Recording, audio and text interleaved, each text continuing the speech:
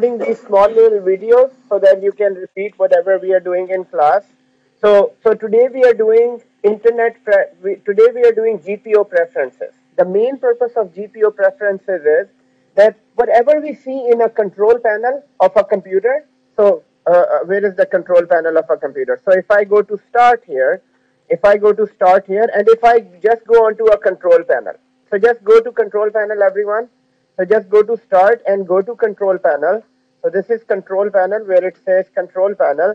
As soon as you go there guys, here it shows you the control panel of a computer, which shows you many different settings for many different things here. Now the easier way to look at this, this is that you can change the category from this to small icons.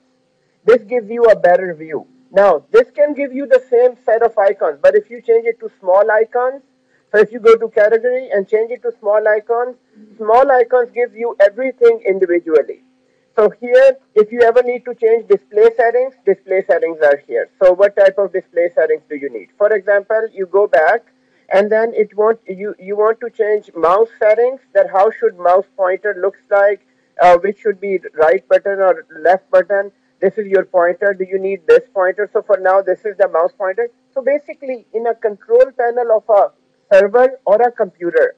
It has all the settings that you can change. For example, you need to change language on your computer. So language on a computer, you go here. For now, it is set to United States English. You can change, if you go to Middle East, they are using Arabic computer. If you go to China, they're using Chinese Windows. If you go to uh, Montreal side, they're using French Windows. So you can change complete these settings. But guys, these all settings, if I need to do these all settings individually, for example, in control panel, I need to check, I need to change language settings, or I need to change user settings. I need to change sound settings. How should sound work? Guys, I need to go to each machine and do it. So on this one, I need to change language. On this one, I need to change language. On this one, I need to change language. On others machine, I need to change language. So if I need to do this, guys, I need to do it individually on all machines. But if you need to do it from from, uh, uh, uh, from GPO or group policy, or you need to do it once in all of the environment, guys, we use preferences. So all these settings that you see in control panel, they exist in, in preferences. Now within preferences, the biggest advantage is, for example, if you can see, I need to change internet options. So I have internet options here. If you can see the screen, this is my internet option. Uh, uh, Ahmed, Ahmed, can you just move this on on this side. Thank you. So here guys, uh, for example, I need to change this settings. Now what is in this setting? So I'm in control panel and I open internet options. So you're in control panel, open internet options. So once you open internet options, once you open internet options, what you can do is, uh, as soon as you open internet option, what can you set up for for for uh, for this internet option? For example, you need to change a default web page. Whenever Internet Internet Explorer opens, what would be your default page? Uh, other than that, uh, other than that, browse history. Do you want to delete all your history? Whatever websites you went to, it can delete from here. Other than this, within Internet properties, you can change security settings. Uh, if you're connected to Internet, it should be high security. So it won't let viruses come from Internet to your computer. Guys, these all settings exist in preferences.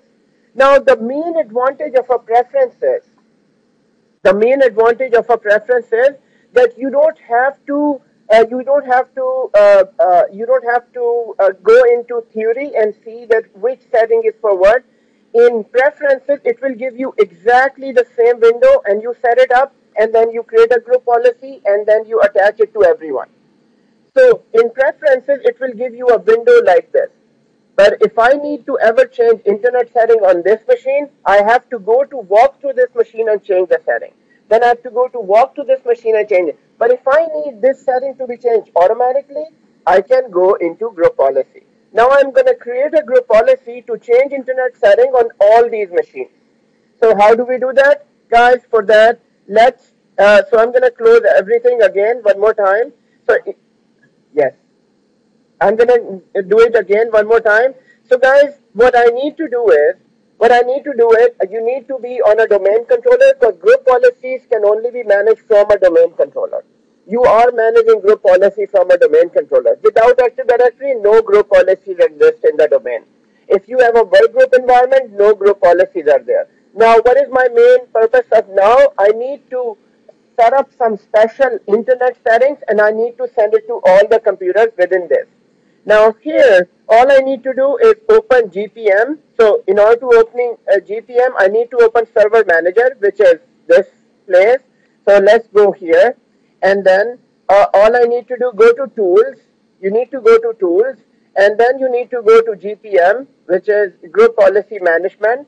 As soon as you open GPM, guys, sometimes and most of the times actually, this GPM screen doesn't appear here. So guys, keep an eye on this here. It, it automatically comes onto this task manager here. So if it doesn't open, it means, it doesn't mean that it is not open. It's just not visible. So if you need to see it, you need to click on this. Now you're in GPM. So in GPM, just just few minutes back, I created a GPO. I'm going to delete this so that everybody can do it. Then I need to create a new GPO. So how do you create a new GPO? Right click on this and then you would say new and within new, let's name it internet settings. So internet, internet settings. So I'm creating a new GPO called internet settings. If you already have it, then, then you can, then you can uh, have it. Uh, so here, one more time, all I need to do once you open GPM, you need to, uh, you need to expand domain. Then you need to expand your domain. Then under this, you need to go to group policy object. And then under this, uh, right click on group policy object and then say new. Right click on group policy object, then say new.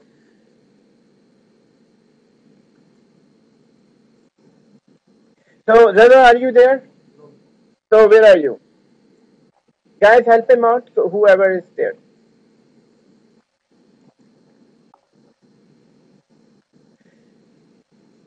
So once you're here in internet settings,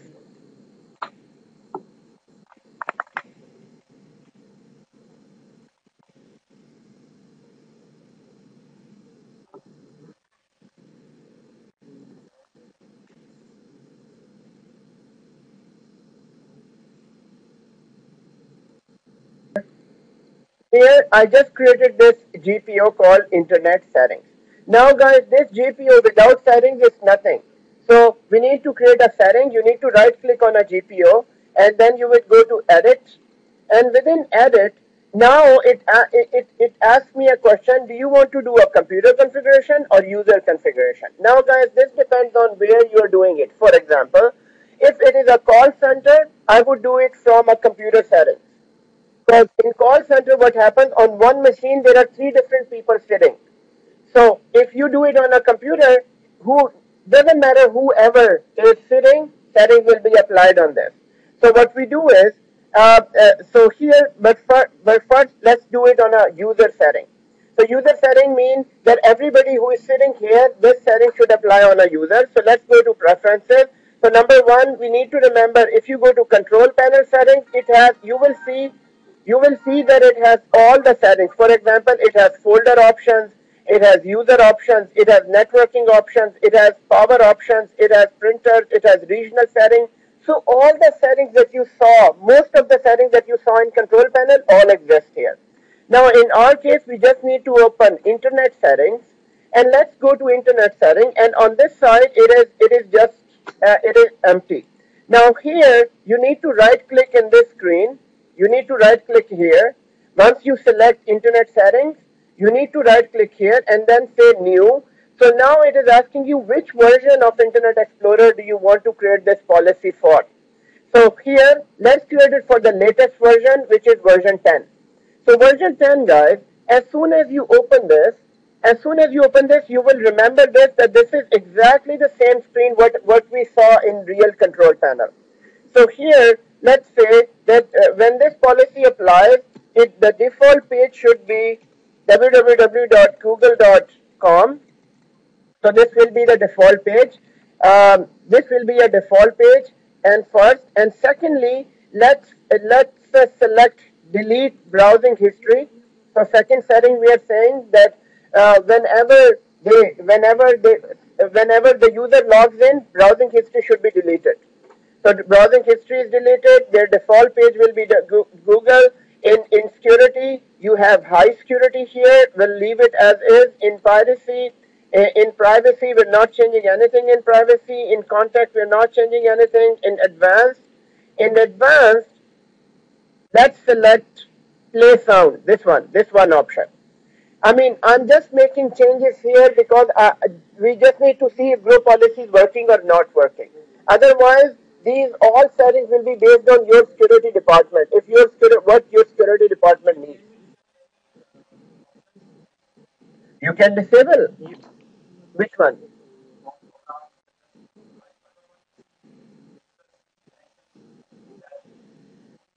No, not from here. Not from here. For that, you need to have a registry setting.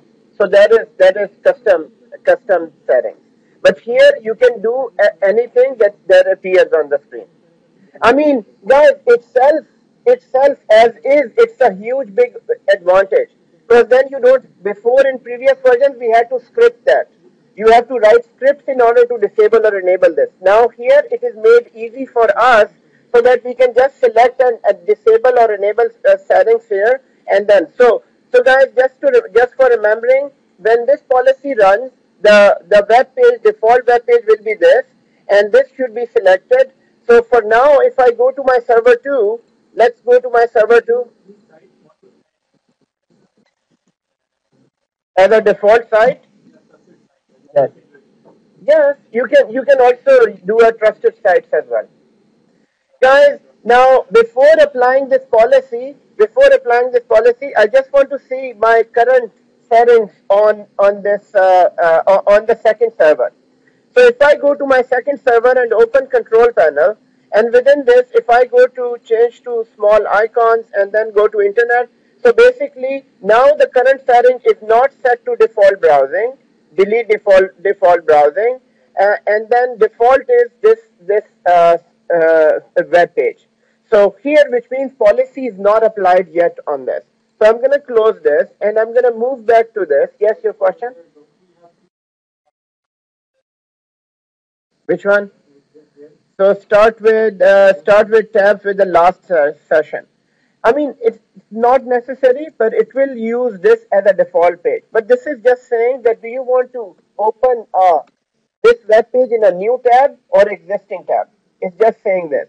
So, so we're gonna just use this. So here, uh, actually, ch let's change this as well because the default setting is that. So we're, we're changing start the start with home page, home page did four settings here. One was default page and then set with home page and then delete browsing history and then in advanced I just I'm just selecting play system sound. So four settings. Now press OK with this. As soon as this is done, as soon as this is done, now you have enabled this policy and you close this. So as soon as you close this guys, what, what's happening now? Now let's see what settings are in this GPO. And how do we verify? You need to go to settings. You need to go to settings here. And within settings, let's show, and it's showing you that the default policy you have is this. And in general, you're doing these settings. In security, you're doing these settings. And in privacy or in advanced, you're, you're, you're just enabling play sound. So this is how you, how you read a policy. That my policy that I just did is, is, is this policy. Now the second thing I need to do, jump back to scope tab, jump back to scope tab and in this scope tab, it is, it is, it is telling me that this policy will be applied to everyone who is authenticated, number one. But here, this place is empty. Now, if this place is empty, this is not linked anywhere. So you must link it. So guys, for our ease of access for testing, what, what we're going to do, we're going to link it to a domain. Let's link it to a domain. So all you need to do, you need to drag this. So just select it and drag it upward and drag it to over your domain. Once, huh? In your case, it's win.local, so you need to drag it on this. Once it is it is there, it is now linked. Now if I see now if I see this, it is linked to a domain. It is for all authenticated users And here in settings, it has this type of setting. Now, in order to see that if this can apply, there are few methods. One method is that every 90 minutes, if we can remember, just for your remi reminder, every 90 minutes policy revives itself. Secondly, we can run GP update on that machine and, and force the policy. And third, just re log off and log in. You can log off and log in policy. So guys, these three things we must remember for interview purposes. So yes, where you want to apply. For example, let's go to our second machine. So this second machine, guys, first of all, this must be joined to a domain and you must be logged into a domain. So for that, then it will work. So here, before I run the policy, let's one more time check internet options. So our internet options here, yes, server 2, on, on server 2. On server, even if you don't have server 1, server 2, then check it on server 1. So in this, guys, it is already set to start with home page. So let's change this because our policy will come automatically here and it will change it to start with home page and click apply. So my current setting says that here I have a different web page. Here it is start with a new tab last session. So our policy will change this. Our policy will change this and our policy is going to enable this sound as well. So these are the settings that should be coming from a GPO. So now let's see this guys. Now here all you need to do open a command prompt. Once you open a command prompt here and then here I would go and say uh, but before before running GP update, guys, let's run GP result. Yeah, let's run GP result first. Now GP result. So GP result here. Now for your uh, for your for so that you can look at look at it. I'm gonna increase the font.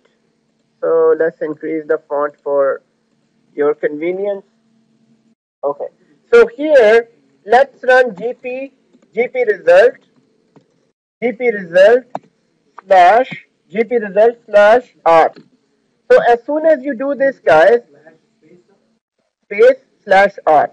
So guys here, as soon as you go here, it says under user settings, no policies are applied here. Applied groups is no policies here. So currently, internet settings are not applied yet. Internet settings are not applied yet. Guys, why am I going through this step by step? Because you should know when you create a policy and then you verify, then before running it, you need to verify and then run it.